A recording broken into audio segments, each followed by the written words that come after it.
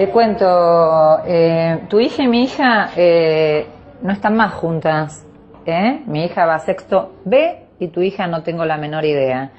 Yo te cuento, a mí la verdad que yo soy una persona pública que no me interesa que mi dirección se publique en ningún lado, independientemente que tengo seguridad privada y todo un montón de cosas.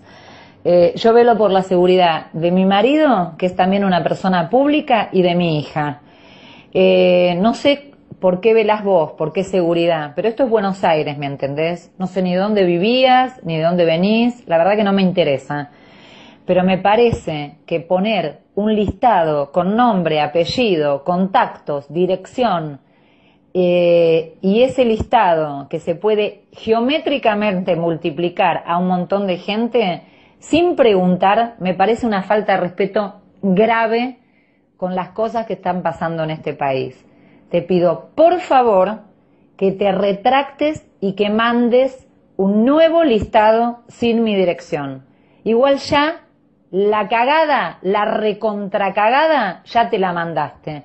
Y la verdad que es una falta de respeto. Sos una persona que no tiene idea cómo se maneja la gente en Buenos Aires.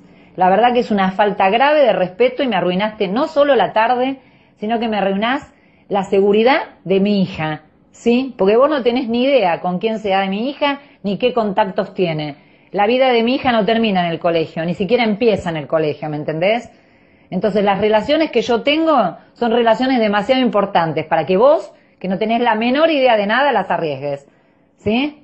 Así que tené mucho cuidado, porque la verdad que le hiciste un daño grave. No es un chistecito.